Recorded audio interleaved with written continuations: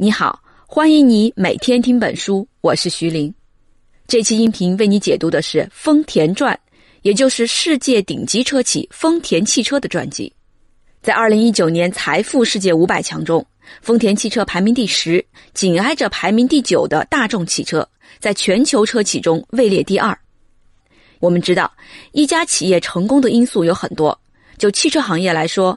研发、生产、供应链、营销、售后等等各个环节都很重要。不过呢，这本《丰田传》并没有面面俱到，而是把视野聚焦在一点上，就是著名的丰田生产方式，后来也被叫做精益制造方式。这本书重点讲述了丰田生产方式从一种理念发展为一整套管理工具，从丰田公司的独门秘籍发展为行业新标准的过程。为什么丰田生产方式这么重要呢？这首先是因为丰田生产方式就是丰田汽车的核心竞争力，它能够大幅度降低生产成本，提高生产绩效。一个有力的证据就是，二零一九财年，丰田汽车的销售额比大众汽车略少一点，但它的净利润却比大众汽车高出将近百分之二十。丰田汽车连续多年蝉联全球最赚钱车企。这就是为什么最近二十年来，全球制造企业都在学习丰田生产方式，中国企业也掀起了学习丰田的热潮。第二，也是更重要的，丰田生产方式不但可以用于生产环节，同样也适用于研发、销售等环节。它其实是一种通用的工作方法，它的核心是持续的改善。产业专家认为啊，丰田生产方式的本质其实是建立一个学习型组织。日本首富优衣库创始人刘景正这样评价丰田生产方式：今天的成功可能会成为明天的失败。拥有不断进化的现场，这就是丰田强大的本质。你看，改善、迭代、学习型组织、进化，这些都是我们今天讲组织管理时最重要的概念。这本《丰田传》给我带来的最大启示，就是如何进行持续的改善，如何让每一天都比前一天有所进步。本书作者野地智家是日本著名纪实文学家，为了写这本书，他用七年时间对丰田汽车进行了七十次实地走访，可以说他是用丰田生产方式完成了本书的写作。下面我就从三个部分来为你讲述丰田生产方式的来龙去脉。第一，丰田生产方式和福特生产方式有什么不同？第二，丰田生产方式是怎样从一种理念发展为一整套管理工具的？第三，丰田生产方式是怎样从丰田公司溢出被推广到全世界的？好，下面我们就先来讲第一点。丰田生产方式和福特生产方式有什么不同？在产业界提出一种新的生产方式，必然是要应对新出现的问题，不可能是无缘无故的创新。在丰田汽车诞生的一九三三年，正是福特生产方式大行其道的年代。我们知道，美国福特公司在一九一三年推出了汽车行业的第一条流水生产线。通过批量生产大幅提高生产效率，把汽车价格削减了百分之七十以上，让美国百分之九十的家庭都买得起汽车，这是了不起的成就。福特的大批量生产方式也成为了汽车行业的生产标准。那么，作为新生企业的丰田汽车，为什么不直接引进福特生产方式，而是要另起炉灶搞一套新的生产方法？这就要说到丰田汽车的创始人丰田喜一郎。丰田喜一郎是不折不扣的富二代，他的老爸丰田佐吉是当时日本家喻户晓的发明大王。他发明了一种新型的自动织布机，然后抓住机会建立了日本最大的纺织企业之一丰田纺织。在那个时代，纺织企业就是代表了最先进生产力的高科技企业。丰田喜一郎从东京帝国大学工程学专业毕业后，直接进入丰田纺织，负责自动织布机的生产。不过啊，他真正感兴趣的领域是汽车行业。后来，等老爸丰田佐吉去世，大概是因为没人能管他了，丰田喜一郎随即宣布进军汽车行业。消息一出，人们都认为这位有钱少爷一时心血来潮。很有可能把凭运气继承来的家当，最后凭实力都赔光。更不靠谱的是啊，按照丰田喜一郎的计划，他不是老老实实的从最简单的汽车装配开始干起，也不是从美国进口全套生产设备，而是一上来就宣布要自主研发、自主生产，包括发动机在内的所有核心部件。这对于在汽车行业零基础的丰田纺织来说，简直就是不可能完成的任务。丰田纺织上上下下都强烈反对这项计划。当然了，反对无效，丰田喜一郎还是一意孤行。一九三三年，丰田喜一郎正式成立了丰田汽车公司，并于两年后下线了第一款试验车型 A 一型轿车。制造汽车当然没有丰田喜一郎想象的那么简单。这款 A 一型轿车实际上绝大部分零件是从美国进口的，但是有一点，它的发动机基础零件是由丰田汽车自主生产的，这在今天看来仍然是非常了不起的成就。有几家汽车企业能做到一上来就自主生产发动机零件？从这段经历可以看出，丰田汽车从一开始就有着强烈的自主研发意愿，拒绝全盘拿来主义。尽管出于现实需要，丰田汽车后来还是引入了美国的全套生产线，但他们无时无刻不在考虑如何优化这条生产线，如何比美国人做得更好。更何况，丰田喜一郎发现，日本车企如果全盘采用美国人的大批量生产方式，根本行不通。为什么呢？因为当时的日本经济还远远比不上美国。购买力很有限，只有少部分企业和极少数家庭能买得起汽车，这和美国百分之九十的家庭都拥有汽车是不可比的。狭小的市场规模就决定了日本车企不可能进行大批量生产，而只能进行少量生产。少量生产就没有规模效应，成本必然很高，技术又起不得晚，那日本汽车还怎么与美国汽车竞争呢？一想到这里。丰田喜一郎就有强烈的危机感，这种危机感后来成为了丰田文化的一部分。丰田喜一郎认识到，丰田汽车想要活下去，就必须找到在少量生产的前提下削减成本的方法。这个办法从书本上肯定是找不到的，必须回到工厂一线，从生产现场寻找突破口。作为创始人，丰田喜一郎经常身穿工作服，泡在一线，通过长期的现场观察。他终于找到了削减成本的突破口。丰田喜一郎发现啊，传统的批量化生产方式表面上效率很高，实际上存在着大量的浪费。为什么呢？我们以铸造一个零件为例，一个零件从原材料到成品，一共需要经过九个环节，分别是进度安排、铸型、运输、排队等候、调试、机械加工、检测、组装、排队等候。在这九个环节中，只有铸型、机械加工和组装这三个环节是真正创造价值的，而其他六个环节，也就是排队等候、调试、运输、检测等等，都是辅助流程，不创造价值。如果我们进一步考察每个环节所用的时间，会大吃一惊：真正创造价值的环节只占总流程时间的不到百分之十。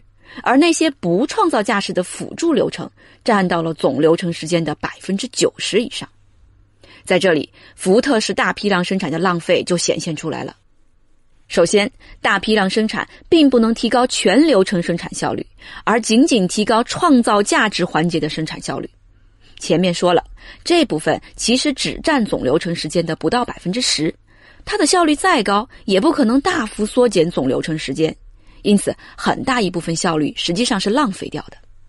第二，也是更麻烦的，大批量生产制造了大量的中间产品，这些产品在库房或者车间堆积如山，往往要等待几个星期才能够进入下一个加工环节。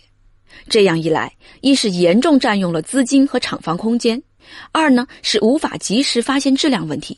等下游环节发现问题的时候，上游环节已经生产出了大量的瑕疵品。在丰田喜一郎看来，这种情况是极大的浪费，削减成本必须从这里突破。于是，丰田喜一郎提出了著名的 “just-in-time” 生产方式，一般翻译为“准时生产”。它的出发点是最大限度的降低中间产品库存，只在必要的时间以必要的数量生产必要的零件。最理想的状态就是让材料和零件在生产现场流动起来，而不是堆积在原地。只有这样，才能够最大程度的去除浪费、削减成本。只有这样，少量生产的日本车才能够与大批量生产的美国车一争高下。这就是丰田生产方式与福特生产方式的不同。福特生产方式重在提高创造价值环节的效率。而丰田生产方式重在提高不创造价值环节的效率，通过去除无用功，大幅缩短总流程时间。福特生产方式一定会出现中间产品过剩，而丰田生产方式以准时生产制度来大幅降低中间库存，去除浪费。作为丰田汽车创始人，丰田喜一郎最早提出了丰田生产方式的基本理念，但是很快二战打响。丰田汽车被纳入日本军工体系，准时生产制度并没有真正落地。丰田喜一郎也在五十多岁时就去世了。战后，接过丰田喜一郎的思想，真正把丰田生产方式从一种理念发展为一套成熟的管理工具，并在全公司推广开来的是另一个传奇人物，叫大野耐一。下面我们接着聊，在丰田汽车内部。大野耐一是确立丰田生产方式的最大功臣。丰田喜一郎只说了要准时生产，要去除浪费，但具体怎么做，采用什么方法，从理念到实践怎么落地，这些都不清楚。直到大野耐一加入丰田，大野耐一是那种典型的铁腕改革人物。他身高一米八，在当时的日本人中绝对是鹤立鸡群。再加上他脾气急躁。发起火来暴跳如雷，据说只要他一出现在工作现场，就会吓得员工瑟瑟发抖，人称恶魔。大野耐一原来是丰田纺织的生产经理，后来被调到才刚起步的丰田汽车。他心心念念的事情就是将丰田喜一郎提出的准时生产制度落地。然而，大野耐一一到汽车车间就发现，这里的生产效率甚至远远不及纺织车间。一个纺织女工就能够照看二十多台自动织布机，而汽车车间里的每一台设备都需要一个专门人员来操作。操作人员长时间重复相同的动作，也容易疲劳。大野奈一心想，能不能让一名员工学会多种技能，能够操作附近的几台不同的机器？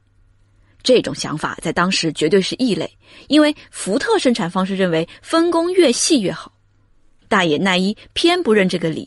在他的坚持下，后来丰田生产员工都是一专多能，每个人都能操作五到六台设备。这不但提高了生产效率，还增强了员工对工作的认同感和成就感。再说回到当时，大野奈一发现汽车车间还有一个明显问题，就是少数员工忙得不可开交，而大部分人都无所事事。一问原因，原来他们是在等待零件，前工序的零件没有送到。那后工序当然就只能等着。这时候，大野奈一就会不管不顾的带上一帮员工，跑到前工序的工厂去亲自取零件，甚至是自己撸起袖子做零件，搞得前工序的生产经理非常尴尬。几次之后，大野奈一突然想到，这种自取零件是一种极好的去除浪费的方法。为什么呢？一直以来啊。前工序和后工序之间生产进度的衔接是一件特别麻烦的事情。如果前工序生产快了，那就会导致中间产品堆积如山；而如果前工序生产慢了，又会导致后工序停下来等待。这两种情况都是浪费。那前工序到底该生产多少合适呢？好办，让后工序直接去告诉前工序自己下一批需要多少零件，不就解决了吗？在这个思路启发下。大野奈一发明了一个重要的生产管理工具，叫做看板，看见的看，板块的板。具体做法是由后工序给前工序送去一只空箱子，写上需要的零件数。那前工序呢，就按照这个数量进行生产，完成之后就停工，直到有新的空箱子送过来。看板的本质是前工序把后工序看成是自己的客户，严格按照客户的订单节奏来生产。而不是只图自己方便，把生产出来的货物一股脑塞给客户或者扔进仓库。按照丰田喜一郎的设想，完美的准时生产制度是不应该有任何中间产品存货的，所有的工序都无缝衔接，所有的零件都在生产线上流动。但显然，这对生产管理的要求太高了，一开始很难实现。大野奈一发明的看板，实际上是对准时生产的一种折中，就是通过简单实用的操作，把中间存货限定到一个极低的水平。看板一推出，很快就在丰田车间得到了普及。除了看板，还有一个重要的管理工具叫做安灯，安装的安，灯光的灯。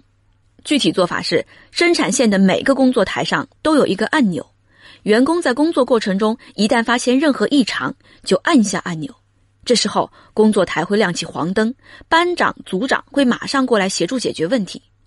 如果在几十秒之内问题得到解决，那么生产线就恢复正常；如果问题无法及时解决，那么这段生产线就会自动停下来。换句话说。安灯就是赋予现场的每一个员工随时停止生产线的权利。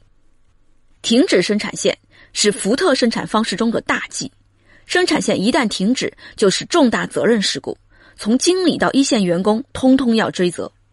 而丰田生产方式却反其道而行之，鼓励员工安灯。大野奈一规定，只要员工一安灯，现场经理就必须对员工真诚地说谢谢。这是为什么呢？在大野奈一看来啊，安灯是一种重要的质量控制工具。员工一发现问题，立即安灯，现场解决，就可以从源头把住质量关。而员工如果害怕被追责，发现了问题也不敢说，导致瑕疵品流入下游环节，到时候不得不返工、报废，甚至是召回，损失就大了去了。这样一算账，员工主动安灯就是在为公司省钱，那当然是要鼓励和感谢了。更重要的是，安灯制度培养了员工的主动观察、主动思考和自主行动能力。员工在工作时不仅需要动手，更需要动脑。一个全员参与的学习型组织就这样从基层开始生长出来。与此形成鲜明对比的是，据说福特汽车的创始人亨利·福特曾经抱怨说：“我明明只雇了一双手，怎么来了一个人？”啊，这可能虽然只是一个段子。但从这个意义上可以说，丰田生产方式和福特生产方式最本质的区别，其实是对待人的方式。福特把工人变成机器的延伸，而丰田把工人还原成真正的人。丰田生产方式恢复了人在大规模工业生产中的价值。有意思的是啊，当初发明安灯，并不是为了质量控制，而是为了解决现场员工的内急问题。当时在大型生产线上作业的员工想上厕所时，常常找不到人来临时替代自己，又不好意思大声报告，所以就通过安灯来提示组长。如果灯亮后两分钟还没有人来顶替他，那这名员工就可以自己停止生产线去上厕所。大野奈一心想，生产线上遇到的其他问题，同样也可以用安灯来解决呀。于是就把安灯作为了一个重要的工具推广开来。就这样，大野奈一创立了丰田生产方式的一系列管理工具，并在丰田的所有工厂内推广。但是，一开始，无论是要求员工掌握多样化的技能，还是在工厂推行看板等工具，都不是一帆风顺，而是引发了一波又一波的反对浪潮。平心而论啊，丰田生产方式并没有增加一线员工的劳动强度，反而是让整个工作节奏慢了下来。那为什么一开始还会遭到抵制呢？其实，抗拒变革是人的一种本能。大野奈一很理解员工的这种心态。他说：“人类都坚信自己一直以来的做法是最好的，我的行为就相当于推翻了他们一直以来深信不疑的东西，这可不是一件容易的事情。”当然，大野奈一自己强硬的行事风格，也许更加深了人们对他的误解。丰田公司流传着这样一则段子：公司规定进入生产现场必须戴安全帽，而大野奈一却从来不戴。这么一个整天强调规定的人，怎么在这件事上公然违反规定呢？有一天，终于有人忍不住问他这个问题。大野奈一回答说：“我知道大家都恨我，大概还有人想用锤子打我的头吧。如果我戴安全帽的话，岂不是不方便别人下手了吗？”为了让大家不管从哪个角度都能打中，我绝对不戴安全帽。你看，在任何时候推行改革都不是一件容易的事情。大野耐一差不多花了二十年时间，才让丰田生产方式在丰田内部落地生根，成为上上下下都一致认同、一以贯之的制度和理念。与此同时，丰田汽车也从一家从零起步的小企业，成长为日本汽车行业的领头羊，力压富士重工、三菱汽车等从飞机制造转入汽车行业的企业，创造了一个奇迹。那么，作为丰田核心竞争力的丰田生产方式，会不会作为企业机密被严格保守，就像可口可乐守着它的神秘配方一样呢？一开始啊，丰田公司的确是这么想的。丰田高层一直有一种强烈的危机意识，他们担心一旦美国车进入日本市场，日本车企会被杀得片甲不留。所以才摸索多年，好不容易搞出了一套比福特模式还先进的生产方法，当然不肯轻易示人了。但是丰田的成功已经引起了外界的强烈关注，媒体热炒丰田公司发明了一种叫做“看板”的神秘生产方式，还有传闻说啊，丰田公司是通过压榨员工和上游供应商而得到了高额利润。一时间谣言四起，甚至惊动了日本国会介入调查。为了辟谣，大野奈一不得不专门写了一本书来向公众解释丰田生产方式。但是他故意在书里用上大量生僻术语，写得云里雾里，就是为了不让外界，尤其是美国车企来效仿。结果呢，其他企业果然是学得一知半解，照搬过去后，不但没有提高生产效率，反而引起了生产混乱。不过，大野耐一很快意识到。自己的这点小聪明是行不通的。你想，一辆车有三万多个零件，再强大的车企也不可能独自生产所有零件，其中百分之七十的零件是要向合作企业采购的。如果这百分之七十的采购成本降不下来，那么丰田的总成本也降不下来。所以呀，必须把丰田生产方式传授给上游合作企业，让他们也能大幅削减成本。同样的道理，在产业链更上游的企业也必须学会丰田生产方式。这样一来，丰田生产方式当然就不能只是丰田一家的独门秘籍，而是必须在全产业链进行推广。想清楚了这个道理，大野耐一派出自己手下的得力干将，奔赴各家合作企业的生产现场，帮助他们掌握丰田生产方式。这样的人被称为指导员。很多企业以为。丰田生产方式就是看板、安灯这些管理工具，其实错了。丰田生产方式的精髓，也是最难学的地方，是持续消除现场的无用功，实现生产流程的持续改善。什么是无用功？就是我们前面提到的那些不创造价值或者存在浪费的环节，比如排队等候、运输移动、过度加工等等。对此，大野耐一举了一个极端的例子。在汽车组装车间，你如果闭上眼睛，能时不时听到嗡嗡嗡的声音，那是电动扳手拧螺丝时发出的。大野奈一说，在嗡嗡嗡之外的所有时间都是无用功。指导员的任务就是要练就一双火眼，通过在生产现场的细心观察，找出存在的无用功，并且尽可能的消除。这听起来容易，做起来难。本书作者说。他七十次参观丰田工厂，每次都会仔细的观察生产线，尝试着找出无用功，但完全没有头绪。而有一次，工厂负责人陪同他参观，负责人一眼就发现，在一条新的生产线上，需要费时费力的撕掉零件包装上的胶带，于是立刻下令进行改善，换成无胶带的包装。这种功力显然是长期刻意训练的结果。那么，这些火眼金睛的指导员到底是怎么被训练出来的呢？这就要说到著名的大野圆圈的故事。话说，一个叫林南八的年轻小伙儿刚从大学毕业，就进入了丰田汽车，被分到了负责改善现场的大野奈一学校。上班第一天，他早早来到了公司，刚在办公桌前坐下，他的上司就朝他怒吼：“你在干什么？”我们的工作是对现场进行改善，快去现场！现在还不是你坐办公室的时候。”林南巴战战兢兢的站起来问：“主任，我应该去哪个现场？”主任一瞪眼：“自己去找。”林南巴没有办法，只好一个人在工厂里乱逛。看到现场有比较面善的员工，就凑上去说话：“请问工作中有遇到什么问题吗？”但是工作现场非常忙碌，谁有功夫搭理他？去去，小子别碍事儿。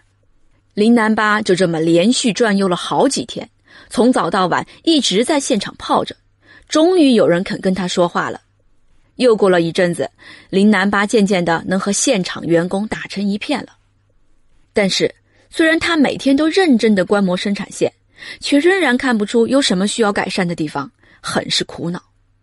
这时候，传说中的恶魔大野奈一现身了。他把林南巴带到一边，然后掏出一支粉笔，在地上画了一个半径一米的圆圈，告诉林南巴：除了上厕所之外。你就一直站在这个圆圈里观察，就看生产线上的那一个员工，找出他动作中存在的无用功。结果林南巴在那里一站就是八个小时。大野奈一绝对不会直接告诉下属该怎么去改善，他只教给他们观察的方法，然后自己找出答案。培养员工的独立思考、自主解决问题的能力，一直是丰田生产方式的底层逻辑。经过几年这样的魔鬼式训练，林南巴终于出师了。他作为指导员被派往丰田的上游企业改善生产作业。林南巴一副斯斯文文的书生模样，现在要到一家陌生企业去对人家生产线上的老师傅指手画脚，告诉人家该怎么改善工作。你想想，这得面对多大的压力？好在现场工人们所有的白眼和冷遇，林南巴早就习以为常。他也懂得该如何用诚意来化解这种局面。其实，这才是指导员真正的功力。如果不能获得现场人员的接纳和信任，就根本不可能进行成功的改善。林南巴也终于知道了，当初领导为什么要那样刻意训练自己。大野奈一去世后，林南巴继承了他的衣钵，继续推广丰田生产方式。大野奈一的徒子徒孙们一批批奔赴各家合作企业的生产现场，丰田生产方式就这样扩展到了丰田的所有合作企业，扩展到了整个汽车产业的上下游，直到成为全世界制造企业争相学习的生产新标准。好，以上就是我们今天讲的丰田生产方式的发展历程，来简单回顾一下。第一。丰田生产方式与福特生产方式的不同在于，福特模式是通过大批量生产来提高效率，而丰田模式是通过去除无用功来提高效率。福特模式把工人变成机器的延伸，而丰田模式把工人还原成真正的人。第二，大野奈一把丰田喜一郎提出的准时生产理念，具体化为看板、安灯等精益管理工具。用二十年时间把丰田生产方式发展为一套完善的管理制度。第三，丰田生产方式的精髓在于现场的持续改善。丰田公司通过培养指导员，向合作伙伴派出指导员，把丰田生产方式扩展到了整个产业链，成为制造行业的生产新标准。关于这个话题，我还解读过一本书，叫做《丰田模式》。那是从具体操作层面做的更详细的阐释，建议你结合起来听。以上就是这本书的精华内容，点击音频下方的文稿，查收我们为你准备的全文和脑图。你还可以点击红包分享按钮，把这本书免费分享给对管理学感兴趣的朋友。恭喜你又听完了一本书。